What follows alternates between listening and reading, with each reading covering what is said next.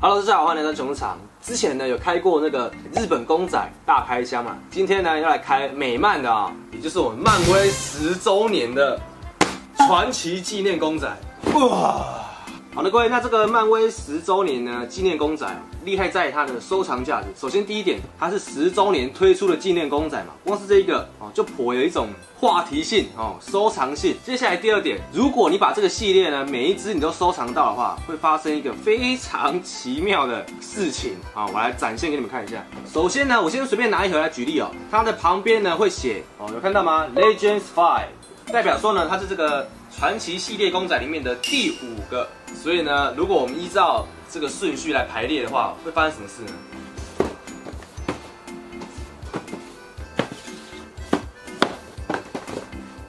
好了，我已经完成了，你们现在一定看不出来，对不对？因为呢，谜底在另外一边。有看到了吗？如果呢，你把第一盒收集到第十盒的话，就会发现它旁边的。图案呢会串在一起哦，这个大图呢就非常的有噱头了。好，从这边呢你就可以看到啊，首先是钢铁人的起源嘛，对不对？接下来是美国队长、复仇者联盟啊，钢铁人、索尔、星际义工队哦，复仇者联盟、蚁人、美国队长、复仇者联盟。它其实呢是有按照它电影的顺序下去排列的，构成这样一幅图，很漂亮，我觉得蛮厉害的。好，那我们就来一一的介绍一下他这次的角色。好，你想要成为一号呢，势必你必须要是这个漫威宇宙呢最重要的那一个，就是我们的东尼史塔克，钢铁人哦。他被困在那个洞穴里面的时候呢，用自己的技术做出第一套钢铁人的套装，就是这样子。所以呢，不负众望的他就成为了一号，这一次十周年的一号。看一下盒装的部分有没有什么厉害的地方啊？这一边会写说这个角色的一些故事大纲，然后呢会有一个 Legends One Iron Man 二零零八。翻到背面的话呢，就可以看到我们这一次的演员，还有他这一次第一次做的铠甲，还有电影的海报。其实呢，因为它是纪念公仔嘛，所以哈，它对于历史的考察会比较认真一点哦，附在这个盒装上。以往呢，比如说我买这个蚁人好了。这个 Hot Toys，它就不管你什么历史什么的，哦，它主要呢在于它角色的精致度。那这个呢，纪念公仔，纪念公仔嘛，一定要把它的史实啊，全部记载在它的盒装上。好，那因为这次的呃公仔有很多哦，我就不一一把玩了啦，哈，我会挑几个比较重要的拿出来展示给你们看，因为其实大同小异。我们呢先把整套的角色 run 一遍，接下来呢我会挑几个比较重要、经典、有特殊代表的。再出来展示给你们看一下啊！好，一号接下来美国队长里面的红骷髅哦，哎，哦，这个就比较压抑了啊。然后呢，依然有他的美国队长的海报。二零一一年哦，Captain America The First Avenger 三号钢铁人复仇者联盟 Iron Man Three 里面呢有满大人、小辣椒、叉叉 Two 这些角色呢出在二零一三的 Iron Man Three 第五盒雷神索尔。有我们的索尔，还有西服。这部电影呢是二零一三年的《Saw The Dark World》。六号罗南，这是出在《星际异攻队》里面的。哦，七号就很大一盒了。好，七号呢也是算分量蛮重，然后价格也蛮重的哈。七号呢是出在二零一五年的《Avengers: Age of Ultron》啊，出现的就是我们的浩克，还有浩克破坏者。电影海报在这边。哇，哎，这一盒好重哦。这一盒等下势必一定要开箱给你们看一下，很有分量。第八个蚁人可以看到呢，里面有蚁人，还有我们的黄蜂战士 Yellow Jacket，出在二零一五年的 Ant Man。好，第九美国队长哦，二零一六年 Captain America Civil War 出现的是那个十字骨，还有我们的美国队长。好，接下来是最后一盒了，也是呢，这个记忆可能你们会蛮深刻的，就是我们的无限之战哦。好啦，这就是 Avengers。Infinity War 二零一八年的，这里面呢有萨诺斯、钢铁人，还有奇异博士海报在这边。好，接下来呢，我会挑出里面比较经典哦，可动关节可能比较多一点啊，或者说角色设计比较特殊的，展示给你们看一下。首先一定要看的就是这个浩克破坏者，还有浩克，它是第七盒，然后 Legend Seven。哇！怎么突然就变地板动作了？哦，哇，好有分量哦！哦，这个我就尬言哎，如果你们这十盒没办法一次全部收集完的话，我会建议哦，直接就买这个啦。哦，这个破坏者真的是很有很有分量。好，那我们就来看一下这个浩克破坏者。首先呢，头，它的头是可以这样左看右看的，毕竟呢，它头就是一个球形关节了哈，所以就可以这样的变化。手的部分，嗯，三百六十度都没问题。关节的部分。这边是做一个有刻度的哦，所以呢，你可以固定在某个特定角度。然后手掌的部分呢，哈，整个拳头基本上它因为受限于这个这个护甲，所以它可以做这样子哦，就两个阶段而已。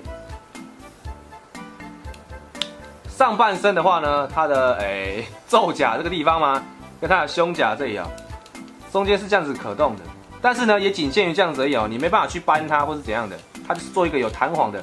让角色看起来更生动，哦，像这样，然后就是大腿骨的部分，然后膝盖可以露出来，没问题。脚掌哦，脚掌的话也可以做到这样子，哦，所以整体它就可以金鸡独立起来。